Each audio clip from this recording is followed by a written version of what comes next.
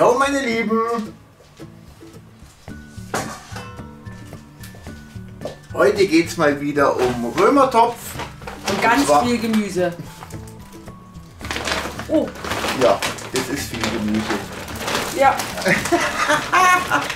Ganz viel Gemüse. Wir haben ja die letzten Tage, die letzte Woche, Wochen, Wochen. ja, so viel gefuttert, dass wir jetzt gesagt haben, jetzt machen wir mal wieder eine ruhige Zeit mit viel Gemüse und deswegen machen wir heute einen schönen Gemüserömertopf und dazu ein bisschen Hähnchenbrustfilet in der Pfanne angebrutzelt. Hähnchen Innenfilet. Oh, auch noch. Okay. Gehen wir rüber, fangen wir an. Ja, Attacke auf in die kleine Küche. Äh, ja Leute, hier eine kleine Übersicht. Wir haben hier erst einmal Möhrchen, wo noch das Grün dran hängt. An Rosenkohl, Blumenkohl, Blumenkohl, Rosenkohl, Blumenkohl. An Brokkoli, ein bisschen Knoblauch, Zwiebeln, Paprika. Äh, da drüben sind noch Kartoffeln. Warum sage ich immer zum Blumenkohl Rosenkohl und zum Rosenkohl Blumenkohl? Ich verstehe es nicht. Naja, egal. Ähm, wir überlegen uns jetzt, wie wir alles hier oder was wir alles davon hier reinschichten. Ähm, wir sind uns auch noch nicht ganz einig, was unten drunter kommt an Gemüsebrühe, Hühnerbrühe, Schweinebrühe, Rinderfond, äh, keine Ahnung. Das werden wir noch im Laufe ähm, des Videos uns entscheiden. Wir fangen, oder Manu wird jetzt nachher dann wahrscheinlich erst einmal anfangen zum Schnibbeln. Ich werde ein bisschen mithelfen. Und ja, so nach und nach werden wir euch dann immer wieder dazu holen und zeigen, wenn wir wieder hier irgendwie eine Lage reinknallen. Genau, so machen wir das jetzt. So, Freunde, die erste Runde ist gefüllt. Schön Möhrchen unten drin. Reicht, reicht dir das am Möhrchen? Weil ich esse verdammt gern Möhrchen. Ja, dazu kommt ja noch Brokkoli, Blumenkohl, Ja, Paprika kommt dann dazu. Ja. Kartoffeln kommen auch noch dazu. genau. Dann hätte ich Deswegen- gesagt, als nächstes äh, machen wir eine dünne Schicht Kartoffeln, oder? Dünne Schicht Kartoffeln. Ja, Gut, ja, genau. So machen wir das. richtig. Oder du machst es. Du fleißige, du. Tja, das nenne ich eine Kartoffelschicht. Was möchtest du als nächstes schichten? Broko äh, Blumenkohl. Blumenkohl. Hätte ich vorgeschlagen, so kleine Röschen machen Ja, und die so mit drapieren und dem Brokkoli dasselbe Spiel nachher. genau. Ja. Und dann überlegen wir uns, was wir noch alles wuchten. Paprika.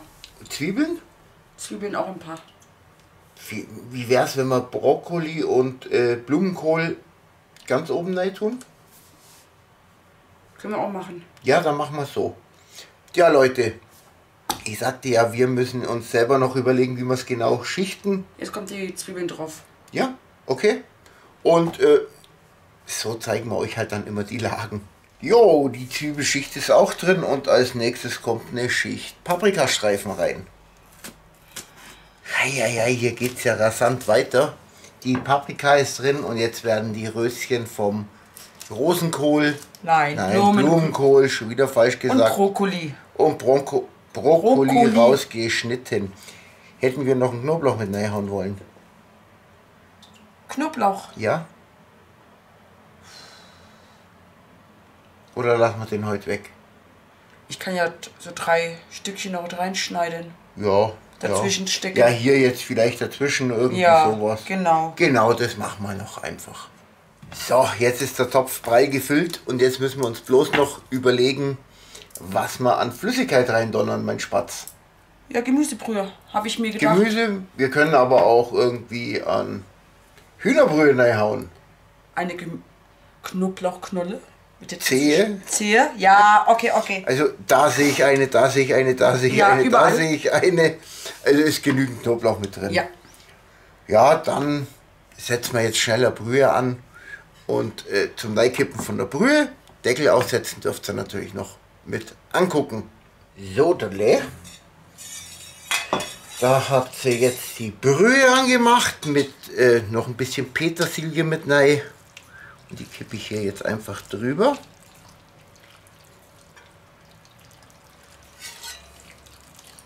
Ja doch, das soll schon ausreichen. Zwiebelchen und so wässern ja auch noch. Und Moment, der Deckel.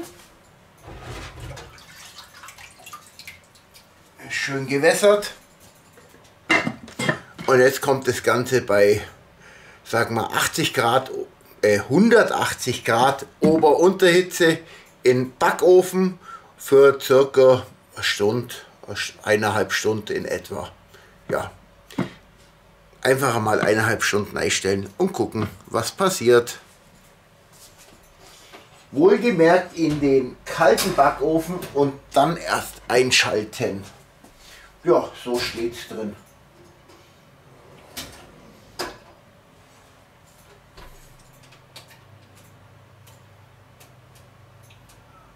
Unterhitze 180 Grad.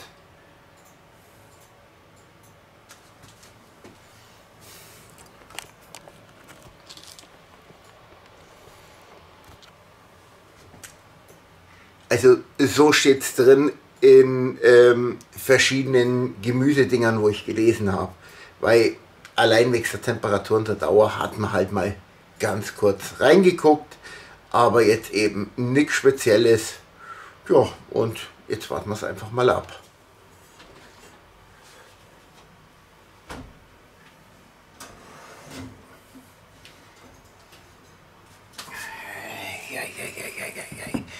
So Leute, knapp eineinhalb Stunden später. Ja, schauen wir jetzt einmal rein, ob das auch alles durch ist.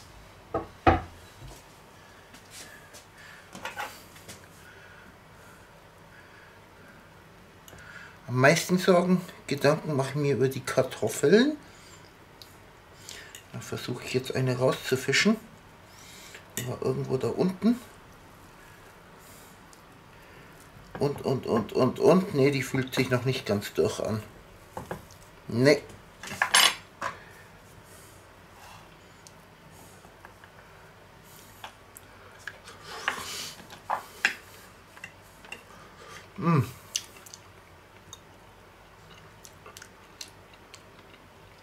Aber es sieht schon herrlich aus.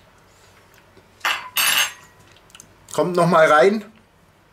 Tja, ich würde sagen noch mal eine halbe Stunde oder so. Wenn es mal wieder etwas länger dauert. Eieieiei, wenn das nicht so heiß wäre alles. So, jetzt soll es aber ausreichen.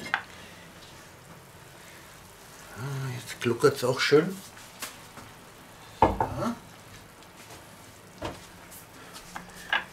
Wo mal war meine Testkartoffel? Da. Ja, die sieht besser aus. Oh, heiß. Heiß, heiß, heiß. Mm. Mhm. Oh. Mm. Mm. Mm. Da das auch jammern kannst.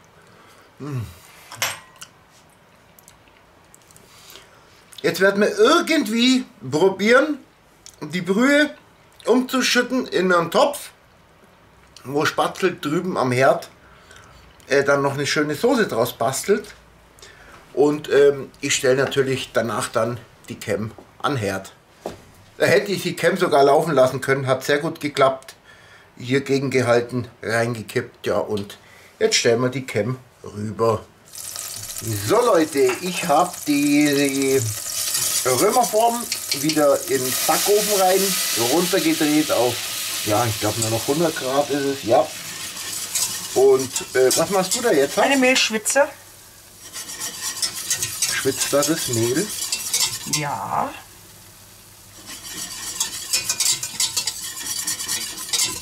Da gehen wir nämlich jetzt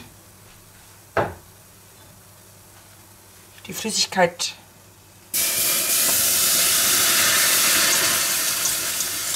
nach und nach hier rein.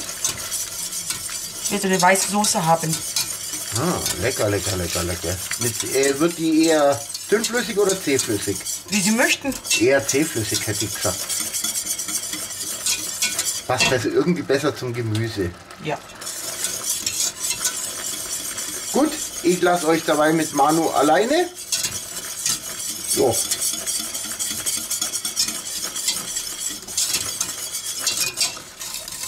Nur halt aufpassen, dass ja keine Klumpen entstehen. Der Milchschwitz. Soll ja eine weiße Soße geben. Wird halt ein bisschen abgeschmeckt mit Pfeffer, bisschen Muskatnuss. Ja, und ein bisschen Milch rein, dass es weiß eine helle Milchschwitz-Soße wird.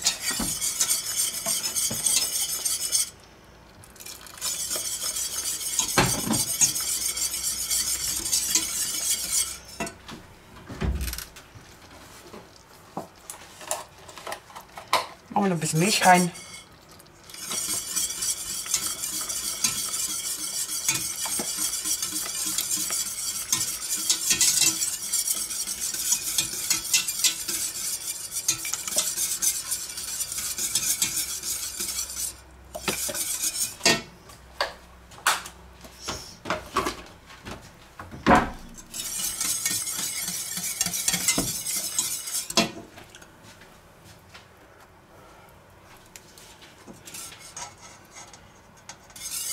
bisschen Pfeffer.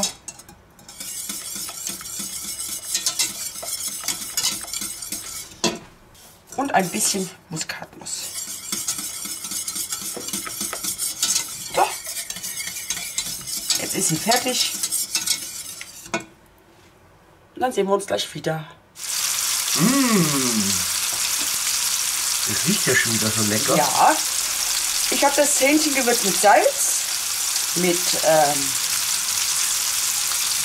Paprika, ähm, Gyroslav Klose. mit Paprika Hast du das auch und verwendet? McAllister. Gyroslav Klose. Ja. Okay. Und Knoblauchgranulat. Ah, hast du das gestern auch genauso Das gewürzt? habe ich auch so gestern ja auch Das gemacht. war gestern so, so lecker. Ja Leute, gestern haben wir auch Hähnchenbrust gehabt, aber auf dem ja, Rohkostsalat oder wie sagt man da? Ja. Frischen Salat gemacht mit Hähnchen, Ja. Streifchen drin. Und das war so lecker, dass ich gesagt habe, heute machen wir nochmal irgendwie ein Gemüse und nochmal Hähnchen äh, dazu. Ja. Okay. Wow.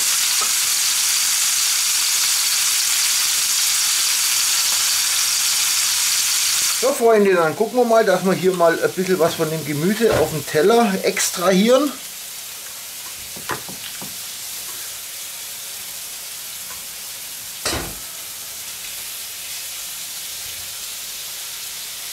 Na, wo sind noch Möhrchen?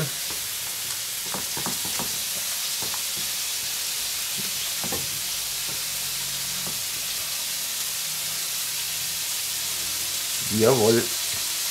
Dann werde ich die Schüssel am Tisch stellen. Genau, und du darfst mir ein bisschen von der Soße drüber tun. Ja, sieht es gut aus. Ja, Dankeschön. Und jetzt kommt das Wichtigste, während auch noch die Manu im Hintergrund die restlichen Fil äh, Filets oder oder was ist das jetzt Hähnchen? Hähnchen, Hähnchenfilet. Hähnchen Innenfilets oder was auch immer das ist vom Hähnchen äh, fertig brutzelt. Mach ich mal probierende. Kartoffeln mit der fertigen Soße.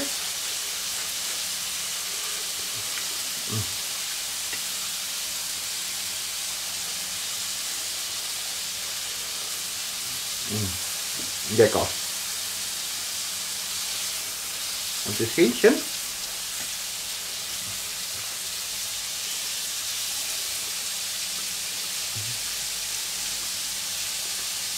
Mit eins der leckersten gewürzten Hähnchenteile, wo ich je gegessen habe. Total geil. Also Spazi, das Hähnchenwürzen hast du richtig drauf. Das Hähnchenwürzen hast du richtig drauf. Lecker. Richtig lecker. Sehr schön. Das freut mich. Also Gemüse ist alles durch. Mm. Ich gehe jetzt essen.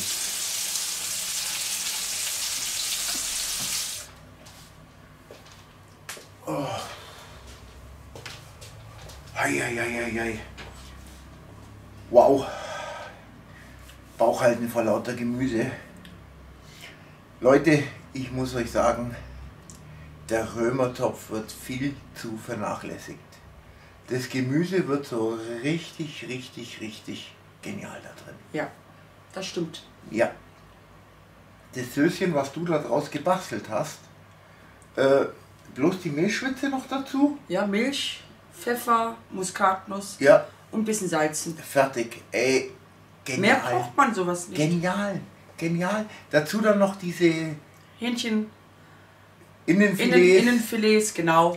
Ja, man kann auch Hähnchenbrust nehmen, wenn man es ein Ja, bisschen natürlich klein kann man das. Äh, saumäßig lecker. Also ich bin mehr als satt. Es ist auch noch mehr als genügend für morgen übrig. Richtig. Ja, macht es einfach nach. Legt auch ein paar Gemüsetage ein mit, ja, mit ein bisschen Fleisch dazu, weil ohne, ohne schmeckt es auch nicht. Also ohne Fleisch hätte es mir jetzt nicht so gut geschmeckt, muss ich ganz ehrlich sagen. Auch wenn auch wenn's Gemüse so richtig verdammt lecker war. Aber das Fleisch war dann noch das i-Tüpfelchen. Fleisch. Ja. Gut, Leute, wer will, kann nachmachen. Wer will, darf ein Däumchen nach oben geben.